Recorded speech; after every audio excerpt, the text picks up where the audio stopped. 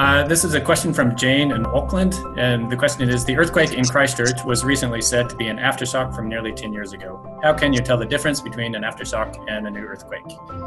Um, I think the place to start with that one is to understand what an aftershock is, and there's there's not really a clear definition of it. And what we what, how we tend to think of aftershocks is there an aftershock is just another earthquake, but it's an earthquake that's occurring earlier in time because it was influenced by this this big impact from from the initial main shock that kind of shook up the, the earth and causes these earthquakes to happen happen earlier.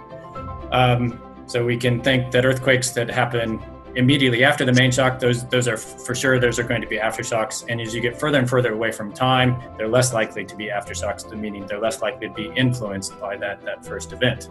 And the way we can start to, to understand that is we look at the, the numbers of events that were occurring prior to the main shock and compare that to whatever is occurring now. And right now we're still getting more, say, after earthquakes of magnitude three and greater in, in the, the Christchurch region than we were prior to Darfield. So everything that's happening now is still influenced by by the main shock, the Darfield event.